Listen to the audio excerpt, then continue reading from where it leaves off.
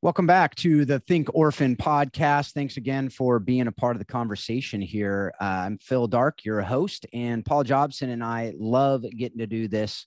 Um, as I've said, as I say almost every episode. Actually, I said it probably every episode.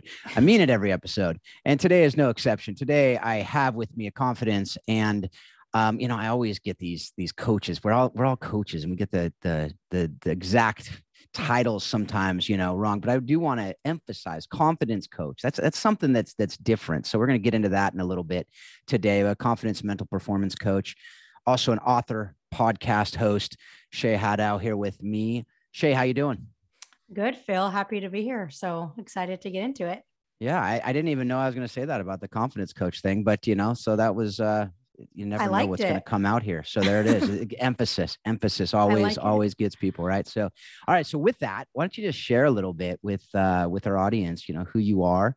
Some people may already know you or know of you, um, but just briefly share your story, how you developed your passion for soccer, leadership, confidence, and mental yeah. performance, and uh, helping girls in particular through their mental health struggles.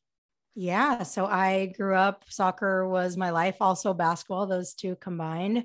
Um, but I've never known a life without it. Um, played at a young age and you know, was really naturally gifted, had a lot of, you know, God given talent, as my parents would tell me. Um, and then when I was 12, I tore my ACL, which at 12 years old is a really hard thing to go through. Yeah. And after that injury, I really started struggling with my confidence. I've kind of had anxiety for a majority of my life too, and that exacerbated it as well but I went from being this really fast, confident, athletic player to being like full of self doubt and just so nervous before games, full of anxiety, just hesitating, holding back. And just honestly, I almost, I almost quit just because I wasn't confident. So at age 15, I was like this close, like so incredibly close to quitting just because I was like, I can't do this anymore. I can't deal with the pressure. I'm not as good as my teammates. Like I don't belong here.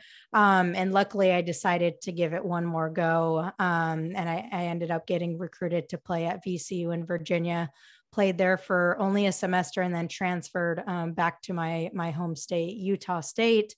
Finished my career there. Had a pretty good career, I would say, but still really struggle with the confidence up and down. Um, you know, junior year was a, I would say kind of my rock bottom year. I had another, another knee surgery and I just wasn't a very good teammate. Um, and I just was blaming everyone for my lack of playing time.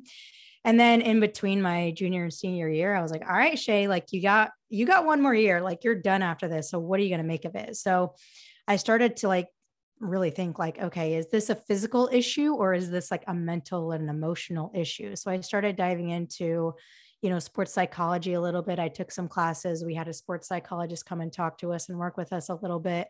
And it wasn't until i started applying those concepts that i really turned my year around and got voted team captain and had like the best season i've ever had my last year and i fully attribute it just to me you know being more confident and learning how to you know improve my mindset and everything. So that's kind of why i do what i do now because i know that so many girls whether they're you know 10 years old or whether they're college kids they struggle with confidence they struggle with anxiety and the and the mental and emotional health. And there wasn't anything really that i knew of that was addressing that and so that's why i started doing this is to really help those girls not just to be more confident players but more importantly just to be you know confident women.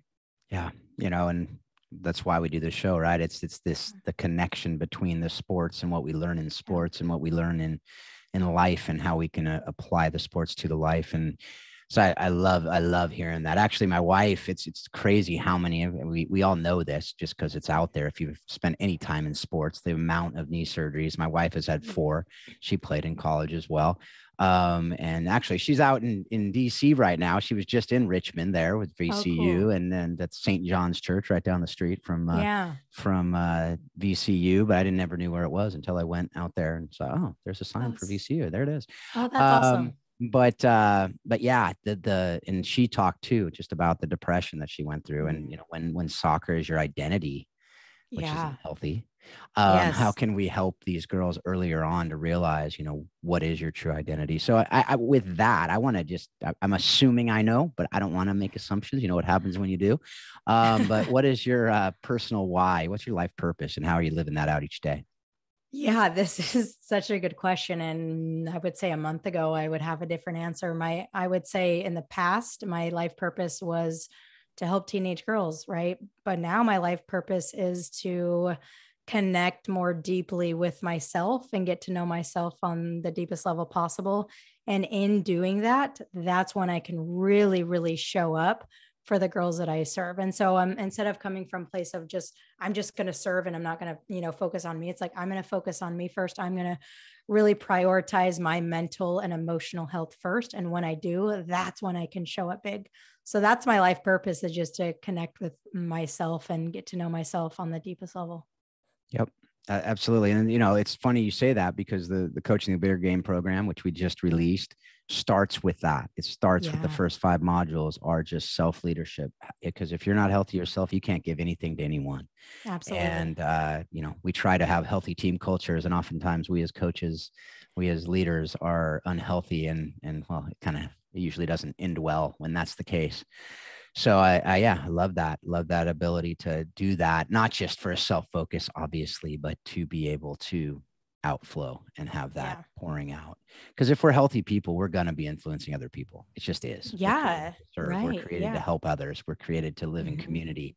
And i think we lose a lot of that especially here in the united states where it's very individualistic culture and absolutely. and task focused and and we, we forget that we're created for community and we're created yes. to work with others to do things. And so the other thing i love about soccer is it helps us remember that. We can't do any of this on our own. So love that love that. All right so part of what you've done is wrote a book right? So yeah. which anybody who's written a book knows it's it's a it's a tough thing to do. It's a labor of love in a world full of uh, millions and millions of books something that we do because we really want to share something with the world. So why did you write is she the confident the, again mm-hmm. man you got always like you know confidence coach she the confidence sensing the theme here right uh the mindset advantage for female athletes but what what what uh what was your purpose for writing it and uh, what do you hope that everybody that picks it up will be able to get out of it yeah. So before the book, I, I had started the podcast um, and it was doing pretty well, but I was like, I, I wanted to find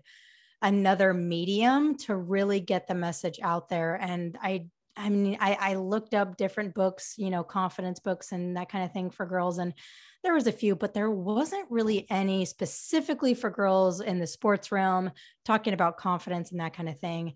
And so I thought it would be a great way for, you know, teenage girls to consume the information, to have like this essentially this little pocketbook or workbook where they could come back and refer to anytime.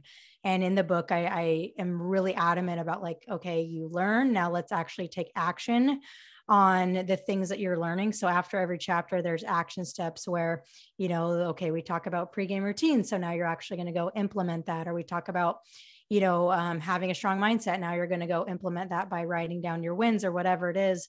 So that's a big part of it is we're we're learning, but then we're actually implementing in the book as well.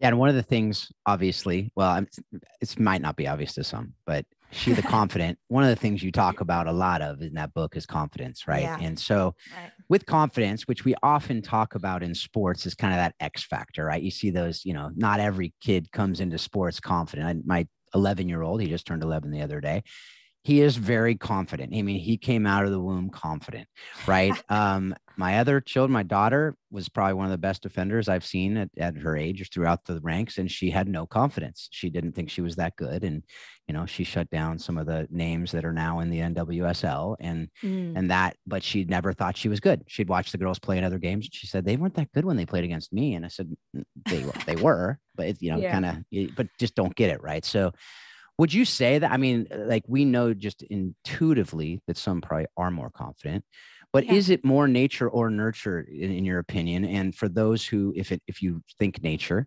um, how can we? And I know there are some who, whether they are or not, they they yeah. think they were not born confident. How can they develop their confidence?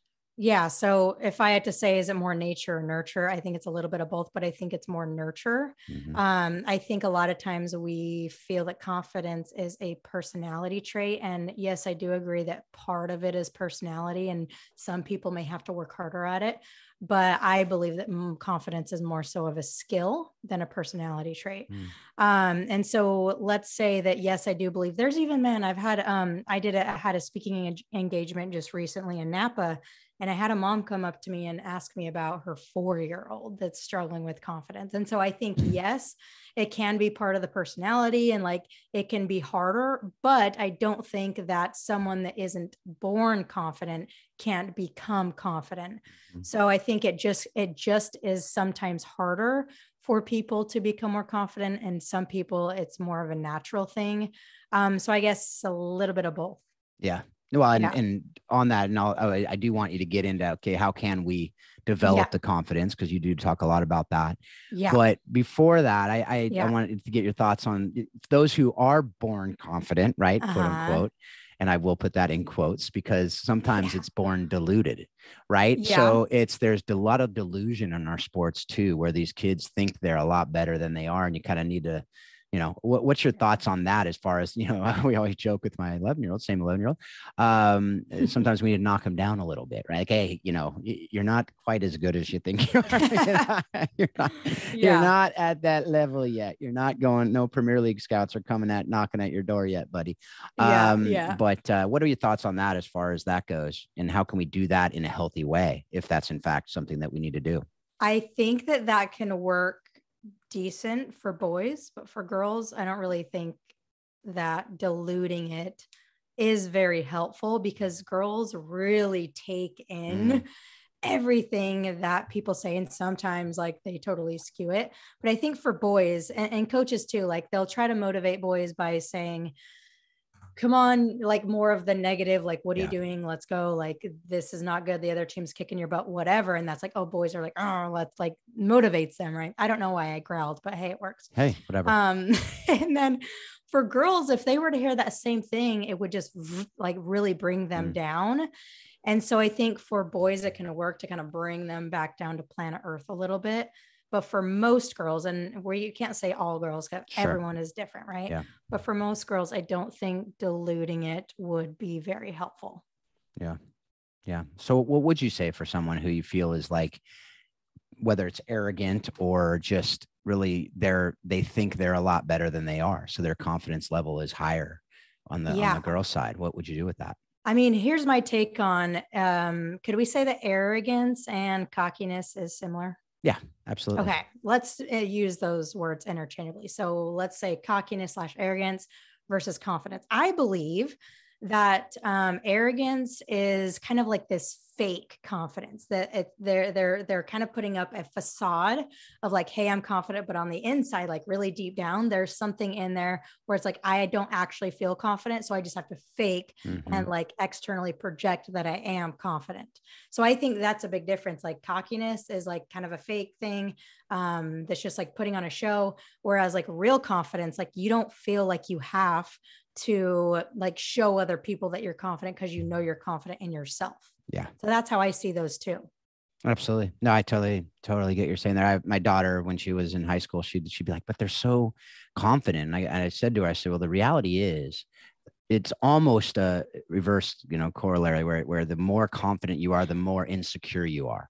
Like the more you externally appear confident. Yes. Right? Yes. Yeah. And that's what I meant by that. That like confident, that con- it often does come out as cocky it often yes. does come out as seemingly arrogant and oftentimes that is uh, actually very proportionate to your insecurity but yeah, it doesn't appear that way they appear to be the most secure but right. I go, I guarantee if you went to their house in their heart of hearts, they'd probably be in their rooms crying just as much yeah, as anybody I mean, else, you know? It's the same too. I think it's the same kind of concept with like bullies. Like bullies, they appear like macho, mm-hmm. confident, but really like they're the ones that are hurting the most. So I think it's kind of similar with that situation.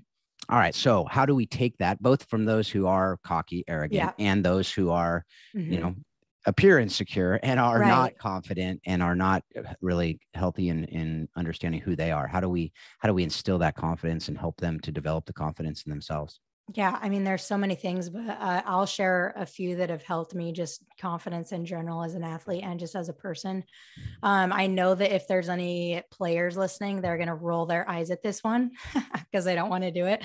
But the first one is like, like really working on your inner insecurities by meditating, by journaling, by like self reflection, right? So you can do self reflection many different ways. I personally do it via meditation.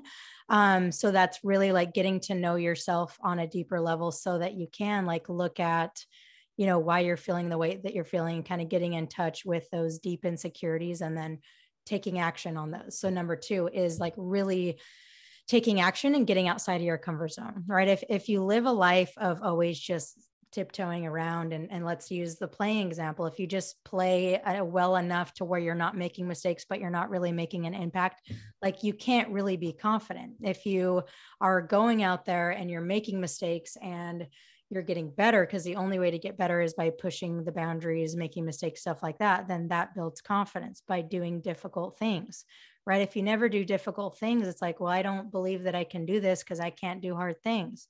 But if you push yourself and you do hard things it's like it just builds up this this trust and this credibility with yourself that like hey i'm capable of doing hard things that may not be pretty all the time but i'm capable of failing and bouncing back and i'm capable of learning from mistakes.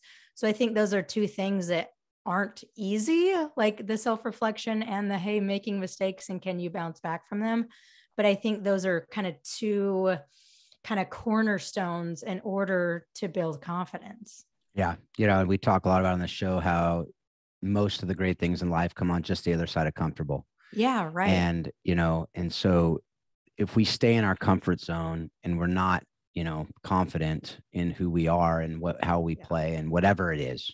Yeah. Then it's not going to be something that you're going to get there just by going through the motions and doing the things that you've always been able to do well. Um, right. It's like learning, uh, you know, yeah. to be able to kick with the opposite foot right? Like right. that doesn't just happen, right? You got to work at it. It's awkward. And it, and honestly, even when you're good at it, when you think about it, it's usually really awkward, you know, even if you, yes. you know, when you think yeah. about using your opposite foot, it, cause it's got to become muscle memory and that's usually fine. Right. But that's what I think this confidence too. It becomes that muscle memory when you work at it, when you practice, when you're able to do it. It really isn't a, it's not an arrogance. It's just a, I know I can do this. Yeah. And and, and another huge thing too is like confidence isn't like knowing like, oh, I can do this, like and that kind of like arrogance, but it's honestly, I believe that it's like just having the willingness to try something and to fail.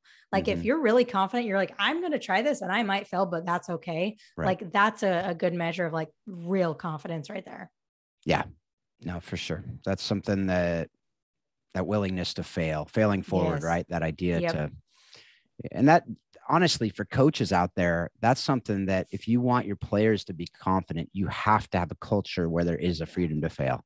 Totally. If you don't have that, then you're gonna you're gonna be knocking people down regularly. Um, so yeah, absolutely.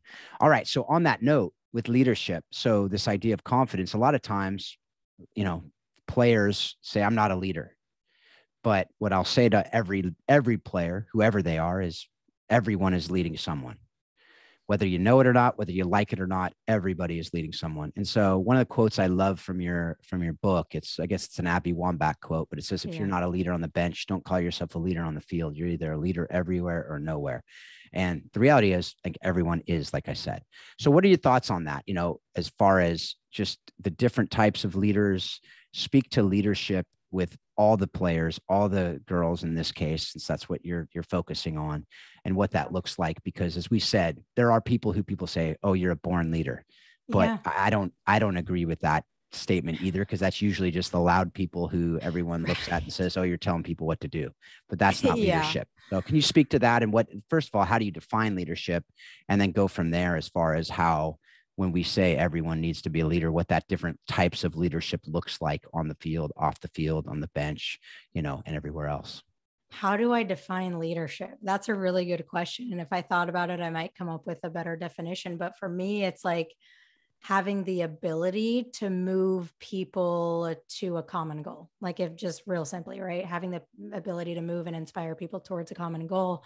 Um, and I, what you were saying about, oh, if you're a born leader, it's usually the loud people. And I think, I think still like when we talk about leadership, I think a lot of times, you know, girls and teams and stuff, they assume that the loudest, most extroverted girl on the team should be the team captain. Mm-hmm. Right. And it's like that, like maybe, but like that's not always the case. Just because you're loud and extroverted doesn't mean that you're a good leader. And just because you're quiet and introverted doesn't mean that you're a bad leader, right? There's so many different kinds of of leaders and I think if we we're talking about leadership, we really need to address titles because there's so many times where you have a group of girls or a team of whatever and there's let's say there's two captains on the team and I'll have a conversation with someone that's not a captain and you know, ask them to go address something with the team. They're like, I can, I'm not a, I'm not a captain. I'm not a leader. I'm like, who says just because it's not your title right. doesn't mean that you're not a leader.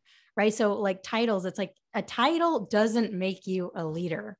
Your actions, how you treat people, that is what makes you a leader, not like some, you know, armband or whatever it is. So it's like everybody, I love how you said everybody is a leader to somebody and really, like, if you're like, I'm really not a leader to anybody, you're a leader to yourself, right? Going back to self leadership.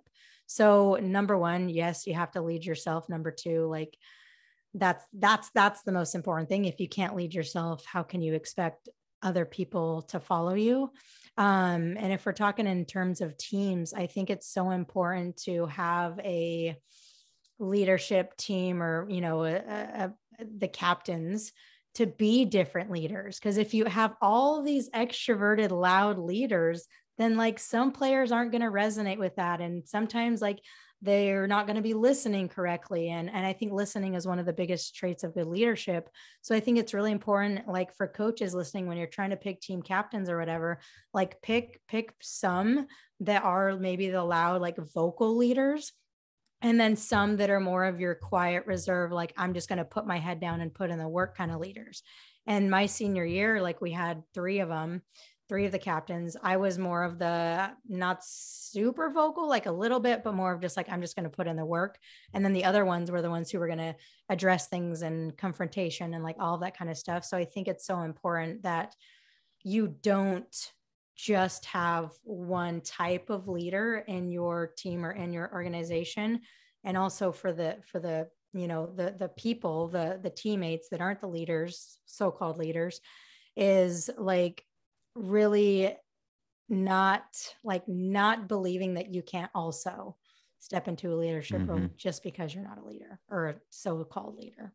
Absolutely. You know that's something i told my daughter throughout her youth well she's she's only 13 but the last four or 5 uh-huh. years you know she wasn't captain a few of the years and she was bummed out and i said doesn't mean you're not a leader. Yes. Of course you're a leader you know now she's captain and i said that doesn't change anything. You still lead you know the same way you always have when you didn't have the band on you know because that's right. it's who you are.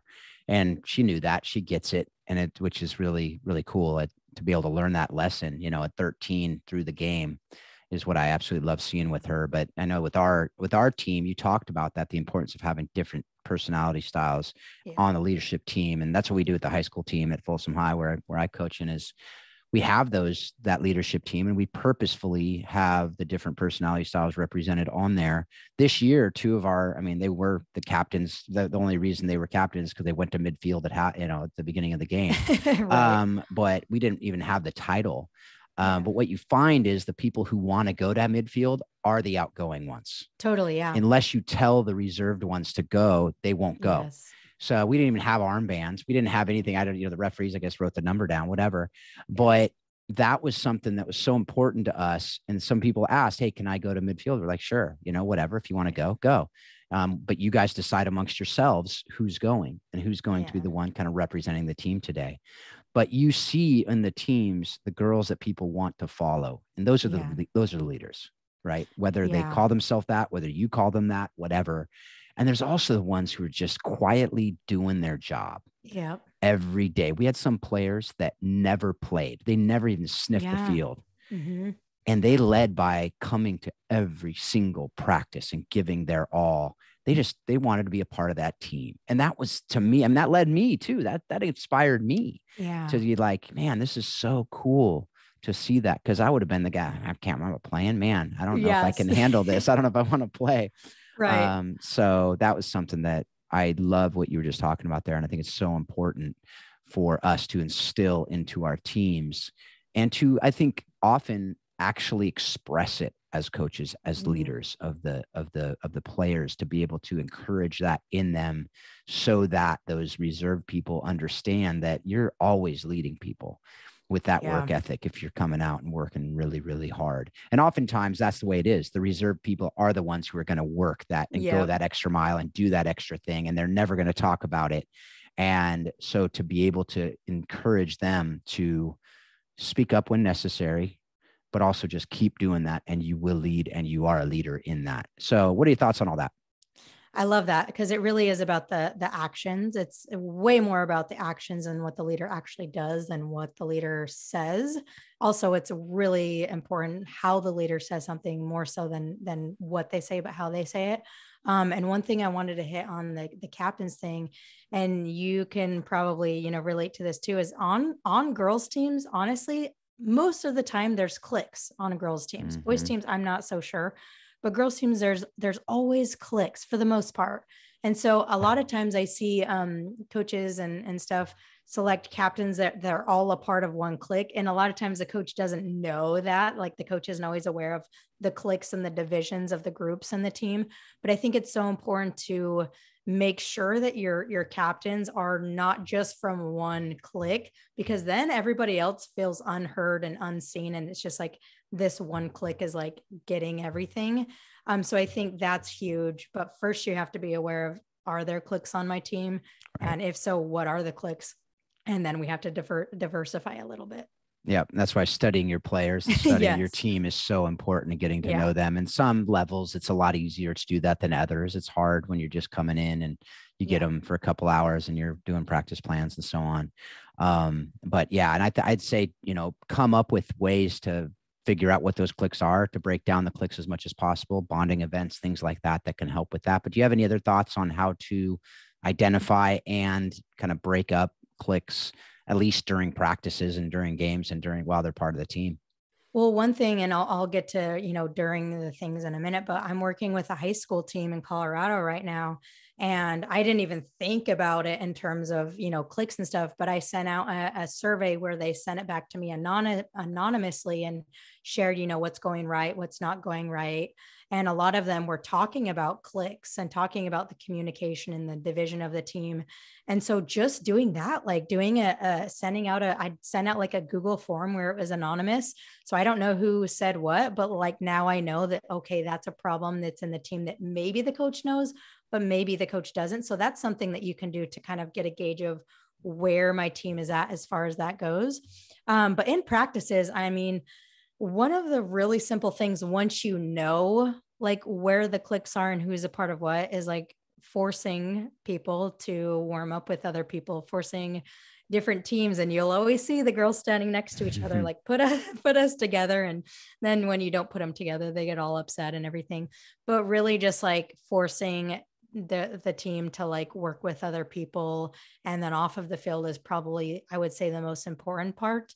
Um you know putting together team dinners or going out to the movies or bowling. Actually movies isn't so good because then they don't talk. But like doing doing stuff outside Mhm. of practice is huge. Like all of the teams i was a part of i was so blessed to have such amazing amazing teams. Um we did stuff like together all the time and not just a few cliquey people like not inviting everybody but like the whole team was invited and that was i think the thing that helped our team chemistry the most Yeah, Absolutely. No, and I, I, I- totally agree with all that. And I know that that's even like when we do vitamins with our team, yeah you do one and then you, one side of the line just steps down one spot and, and then they're, and what's cool is you watch them, they're all talking, they're all laughing, they're all having a blast. And, and so it just, it's, it's all part of that, developing that culture and just to let them know, Hey, you're part of a team. We got to be a unit. We got to be one. So if you don't like someone, get over it and Yep. figure it out, you know? And Yeah. So, so, and hopefully that can happen, you know, it doesn't always happen and there are toxic teams. And so, but Right. how can we uh, teach them that, you know, in life, you're going to be working in teams. And so how can you figure out how to work together and and hopefully like it because it's a whole lot better when you actually work past issues that you have with each other. All right. So, um, one of the other things that you talk about in the book, and this is something that I'm just curious to hear your thoughts on why you think this is, but um, there's a quote that says, according to research conducted by Ernst & Young, 94% of women who hold C-suite level positions, so that's CEOs, CFOs, COOs, um, and, and other C level uh, positions are former athletes. Of those, 52% played sports at the collegiate level. This speaks to the importance of why playing sports and developing leadership skills now is so important. Why do you think that is? Um, just those numbers. I mean, that's it's astonishing. Crazy. That's astonishing. And that was, I think it was like that, that was in the early, like in the mid, like 2008 or something, if I remember correctly. But mm-hmm. still, I mm-hmm. imagine it's very similar today as well. But what, what do you think that is?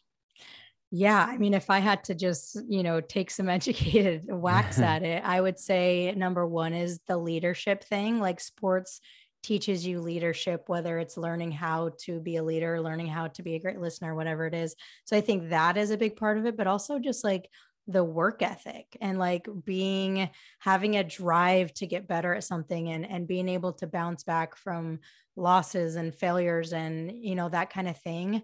Um, and then another thing too is being able to work with lots of different types of people right? Mm-hmm. in your in your career you have you know five ten coaches right? Like you have a bunch of different coaches and so you learn how to work with different coaches but then also you have you know probably hundreds of different teammates that you work with throughout your career and so it's really like they you have to learn how to work with other people cooperate with other people um, handle issues and conflicts with other people so i think it really is like i mean a team is essentially like a mini company a mini organization yep. right so it really Absolutely. is just like practice and how to be a good teammate and how to work towards something and have that drive to to really get better at something and have the drive to you know like you know make something of yourself and and just accomplish things and yeah and just better yourself.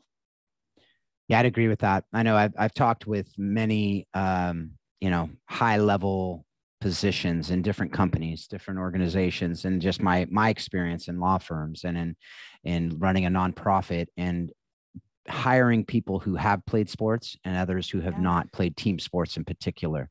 And the differences are you know it's it's very very noticeable to see you know just because exactly what you just talked about that understanding what it is to play in a team what it is to know your role what it is to work really hard to if you're not starting to start you know to push through that no to push you through that negative experience. And you know particularly when it comes to um, females in the in the business world. It's it's you got to push through a lot of junk. Yeah it's yeah. just the reality. There are you know not all not all companies are you know make it more difficult um, but there definitely are men eh, who are like you got to be better as, yeah, a, as a female. There there absolutely are some and, you know, to say every, like you said earlier, it's not every, it's probably, I, I don't even know if it's a majority. It probably right. isn't, but there are some loud ones who are obnoxious about it. And, and yeah, and there are some pay differences and there are some other things that, mm. that there's a lot of issues behind that. So we don't have time to get into all those reasons right. on this podcast. And I know, I mean, there's, there's a million of them. So, um, but I think that persistence, that confidence that we talked about earlier, that leadership, that ability to, you know, when someone says no, to not be done, to not be crushed by that. Yeah. And you learn that in you learn that in sports, you learn that in soccer. So yeah. um, yeah, I just wanted to chat for that for for a few minutes. But all right. So um you're writing another book. Uh, w- what is that? Uh, kind of like I asked before. What's that? What is that book? And why are you writing? You know, some people just write one book and they're like, "That is too much work. I don't ever want to do it again." Yeah, I'm in that camp. Yeah. Um, that's why I'm doing so many podcasts.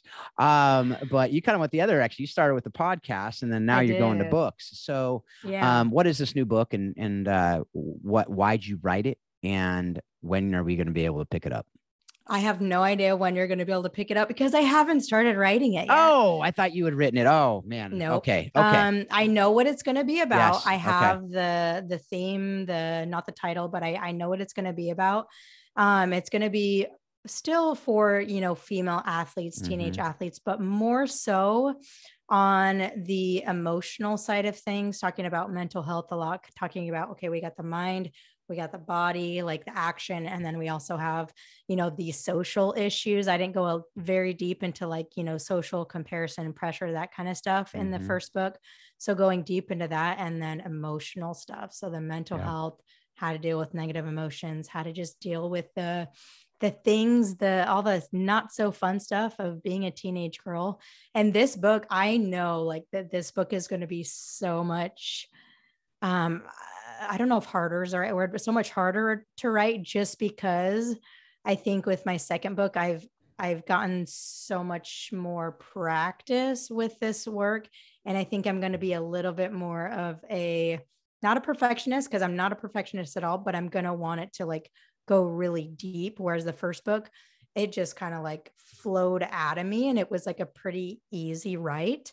Um, but the second book, like, is going to be a lot deeper, is going to require a lot more from me. So I honestly, um, my goal is to start writing it this year within the next few months, but I'm not putting deadlines on it yet. I, I, don't, I don't want to force it. Like I want yeah. it to, I want it to really be able to, you know, come from my heart and not just my head um and so yeah we'll i'll let you know when it's yeah. when it's ready we'll get you back on we'll get you back on when, yeah. when, when, after you've written it and then uh, awesome. uh and we'll uh, we'll talk about that too but i do awesome. want to chat a little bit about what you talked about there i mean yeah. it is well, this will air during mental health awareness month which is yeah. may and mm-hmm. if you didn't know that that's why we're doing we're going to be doing a series. We're going to have brad miller back on. Um, we may have already released by now. I'm not exactly sure when each are going to release but yeah.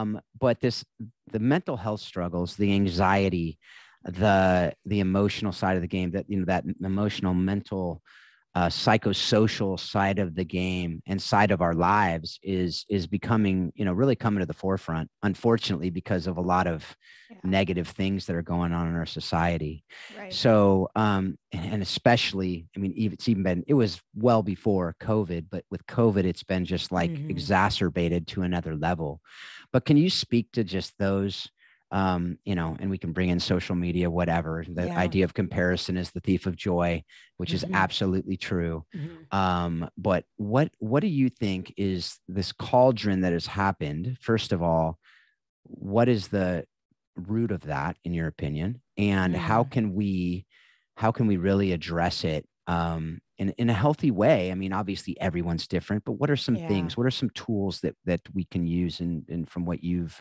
learned and what you're coaching as you're working through yeah. with these female athletes in particular? Yeah, I mean, I don't know if I could say like there's one root. I think it's kind of a combination of a bunch of stuff. So with COVID, obviously, it's just like the uncertainty, like uncertainty causes anxiety, um, especially for kids being taken away from their friends and their structures and their sports, I think was a, a huge part of it, not knowing when they're going to be able to go play again and not knowing, you know, when they can go hang out with their friends and stuff, I think is a big part of it. And then with that, now that they're they weren't playing and weren't going to school, what are they doing more of now? Is they're on social media now. Mm-hmm. They're probably moving less. You know, they're more just at home on their devices. And so I think you know, a combination of those things in particular around COVID was a huge kind of root cause of the, you know, spike in, you know, anxiety and depression that we saw. And with social media, it's just like, oh, we could have a whole episode on this, I'm sure. But yeah, for me, even personally, like I, I delete social media four days out of the week. So I'm only on mm. social media three days out of the week because I just feel better that way. I yeah. not, I'm like able to do more of what I love and I'm not comparing myself. And like people may look at me and be like, oh, she doesn't compare herself. Yes, I do. Literally yesterday. right. I was comparing myself and I got angry and I deleted social media after that. and so like it's still for for everybody. Um yeah. it's a huge, like you said, it's a thief of joy. Um, so social media is a big part of it. So if we're talking about ways to help with anxiety and you know depression and stuff like that we could you know hit those three things on the head. So number one is don't let social media use you. So have some boundaries around social media use. And in order to have boundaries around it you first have to be aware of how it affects you what part of it affects you um, you know, what stuff that you're looking at is like, oh, I don't feel so good about that. So really paying attention to how you feel. And so for me, I took a fairly drastic measure, and that's what I do. I've been doing it for probably a month, but I would encourage, you know, girls listening or whatever, like even before games can be a big thing. Just mm-hmm. deleting your social media, you know, a couple hours before your game can be huge. And, you know, maybe it's setting limits, maybe it's taking a one day off of social media, whatever it is. But that can be a massive help to anxiety. Another thing, honestly, very simple is just moving. Like I've read some studies and stuff um, and listened to podcasts that say like for anxiety, like just moving and exercise is way more helpful than taking medication. Yep. Right. So moving getting outside, being in the sun, being in nature, like these are things that are free that anybody can do that I promise you will have a huge impact on your anxiety. And then if I was to say one more that's completely changed my life in addition to those two is just leaving room for silence, whether that's meditation, mm. some sort of self-reflection, it could be breath work, whatever it is, is just like getting rid of the devices, shutting down all the noise and just really tuning in to just like the silence around you, I think can be really huge to kind of, you know, deregulate our crazy nervous systems. And you can combine all three by going yes. for a walk without yes, your phone. Going, yes. And without headphones and just listening. Yes. I did that. So yesterday I was in the kitchen uh, scrolling on my phone and I started to compare myself I deleted it and then I went for a walk with my dog. I left my phone. Usually I'll listen to a podcast yeah. when I walk, but I left my phone. I was like, I just need to like be, I just need to kind of just not have anything coming in right now. So yeah, walking is like massive.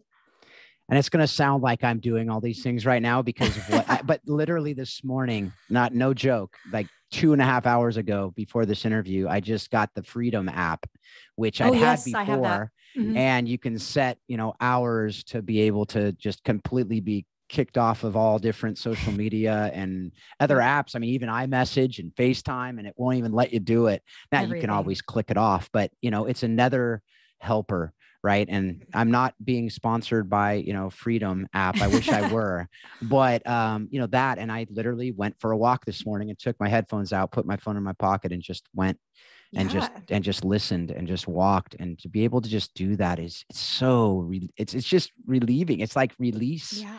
of all this pressure from society around you and news and oh, just the gosh, negatives yeah. of that are out there there's so much noise yep. that's trying to get our attention and to be able to say okay i'm just going to center you know if if you're a christian like me you can center mm-hmm. on scripture you can center yeah. on whatever it is if you're if you're not find that whatever it is that you can just be mm-hmm. able to say okay i just need to really just quiet my mind yeah. because we are bombarded with junk and noise and most of it's trying to tell us that we're not enough. Uh, most yeah, of it's trying to tell it. us that we mm-hmm. we're we, we need more. All advertising is about you need more. You need this more thing. And so yeah love what you what you just talked about there and and i totally agree with that. Any other thoughts on what i just talked about there? I mean, seriously, like those three things, let's say being outside, walking, getting off social media, um, and being, you know, in silence, those three things literally will change your life. Mm-hmm. Like, I don't say that lightly. Like, those are three things that for me, they're absolute non-negotiables that not just not just going to help you like you know, be more calm and help with anxiety, but they're going to help you be more confident because you're more clear headed. You're more like connected with yourself instead of always being plugged in to what other people are doing. Yeah. And just a couple episodes ago, I believe it'll be a couple episodes ago when I release this. Um, Dr. O'Neill, Dan O'Neill, who wrote Survival of the Fit, talks about that. He has the mm. actual studies and he talks about the studies on that with the lack of exercise actually has led to an increase in mental health issues. Yes, and awesome. so this isn't just something that we're musing about. no. It actually has sci- scientific studies that uh, actually support it. So, all right. Now let's get into some of the stuff that we we talk about with uh, with our guests here. But what are some of the lessons you know you've learned directly? We've talked about some of this, but just directly from playing soccer um, or getting injured, you can talk about that too. But how have you used them in your various jobs um, and uh, your mental health training? What were the, the lessons from the actual game itself? I would say the biggest lesson that I've learned is that your achievements on the field or in business or whatever it is don't equal your self worth. Mm. I used to think that the more better I performed, the more money I made, whatever, the better person I was, the more worthy of a person I was. And that was like a childhood belief that I had because of my sport. And so maybe in a roundabout way, it's really taught me that your achievements and your successes in your sport or your job or whatever it is, they don't reflect your your self-worth. Um, so I think that's the biggest lesson that I honestly just figured out last year, to be honest. Yeah. And is there any different answer that you'd say there? Um, anything additional that lessons you learned directly from the game that you've applied, you know, and used in your personal relationships yeah. outside the game? Oh yeah, I mean personal relationships. This one is like really really simple, but with with if we were talking about the sport and then relationships, what you put into it is what you're going to get out of it, mm. right? If you mm. go in and you and you play 50%, it's like mm. you're not really going to get much out of it. Same thing with a personal relationship, uh, you know, coworker, a boss, a romantic relationship, whatever you put into it is what you're going to get out of it. And I think that's a great lesson of sports is like the effort you put in is going to breed those results. Oh, I love that. No one, no one has said that, and I ah, absolutely love ah, that. That is a that is a great one. I love it. what you put in, you'll get out, and I yeah, that's friendships for sure. Yeah. Okay, so um, you have a few things that you're doing. We talked about the books. Yeah. We've mentioned the podcast, but what's the name of the podcast? Um, and how can people get in touch with you uh, to just talk about your podcast, talk about the the trainings that you have and the coaching program that you have, and just how people get in touch with you yeah. if they're interested in any of it. Yeah, so the podcast is the Alpha Girl Confidence podcast. Um, you can find it on Spotify, Apple, and then on my website, which is Alpha Girl Confidence. And then my group coaching program, which I work with girls ages 10 to about 16 and, and all sports. We have mostly soccer players, but all sports. And that's the Alpha Girl Collective, where we we meet every single week. We have coaching calls on all of the stuff we talked about today. Each month we have a dedicated mental health chat, which I absolutely love those.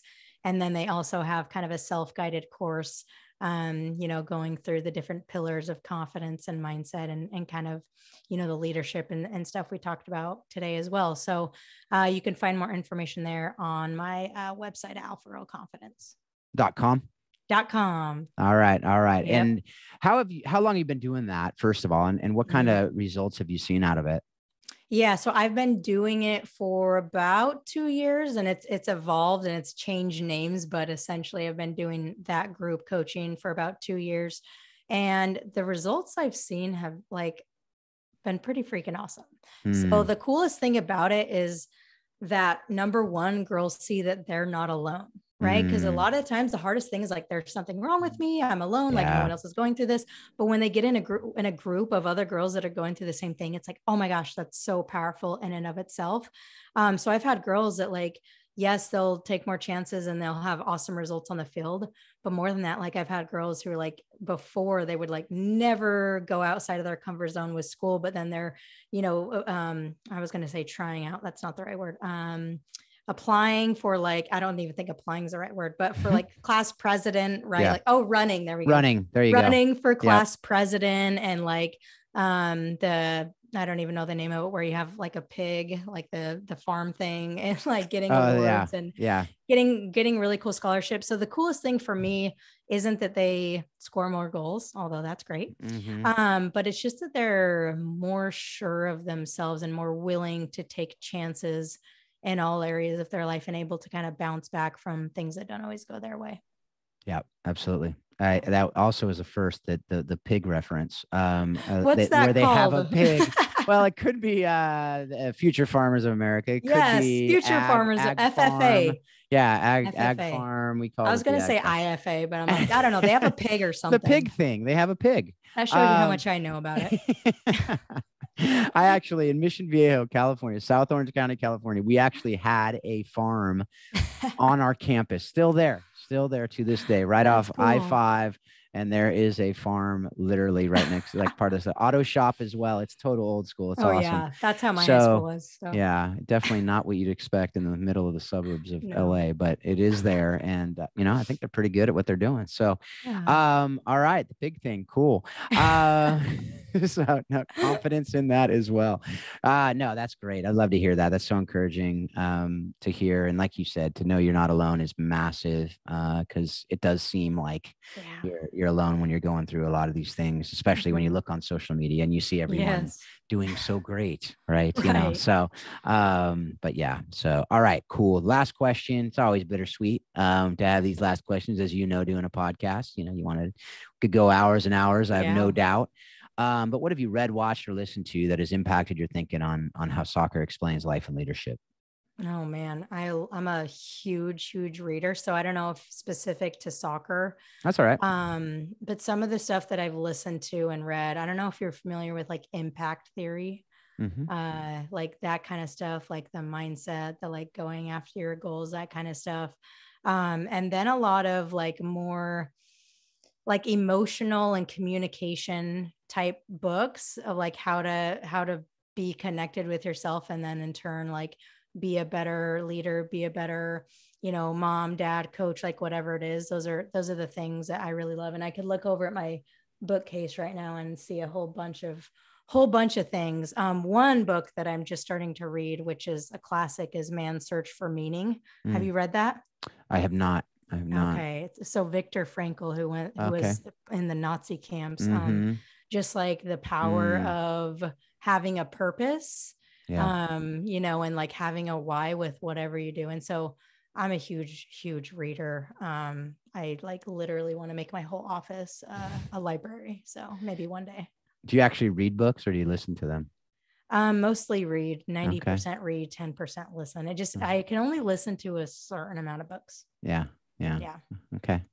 Um, I, I, uh, I, uh, as people know on this, I usually listen to to everything, but there's a few books I'm I'm Yeah. reading now because they aren't on audio. But um, okay but uh, yeah, no, that that's I've heard a lot about that book. I've never never actually picked it up. I think I need to though. So yeah um. Cool. All right. Well, you know, I just really appreciate you uh, taking the time to be a part of this, um, taking and and really what you're doing. I mean, I have a huge heart. I, coaching girls, I see it. I see it all the time. Having three girls, I know. I know the. I know the drill. I know the the stuff that goes along with just being a kid nowadays, and it's Yeah. really hard. So to know folks like you are are working with them is super encouraging to me. And so thanks for Thank being you. who you are and doing what you do and being on the show. thank you i appreciate you having me Absolutely. All right, folks. Well, what what uh, Shay did not know is she basically was given an advertisement for coaching the bigger game. Um, talking there at the end about knowing your why, talking about all the you know self awareness and and self care and all these different things. So if if that's interesting to you as well, you know, go check out coachingthebiggergame.com um, for coaches, really just to help you to to with all the people side of the game side of things, this stuff that we talked about today, and a whole lot more. So if you're interested in that, go check that out. Warrior Way Soccer is where you can find out all things Warrior Way with Paul and Marci Jobson and what they're doing there in Waco and and now all over the country with their consulting and the and the giving and, and all kinds of other stuff that they're doing. So pretty cool things there. Check that out as well.